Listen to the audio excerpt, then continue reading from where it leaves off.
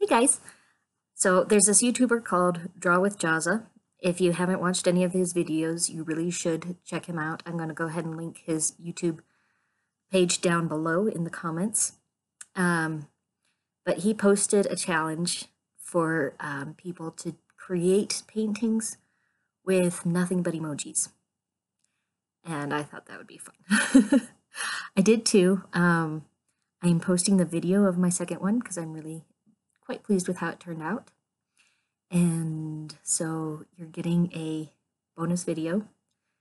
Um, this painting is made with nothing but emojis. They may be nipped and tucked in places, um, but none of it is free-handed drawing. It's all emojis. So I hope you enjoy and um, yeah, leave me a comment below. Thanks so much for watching.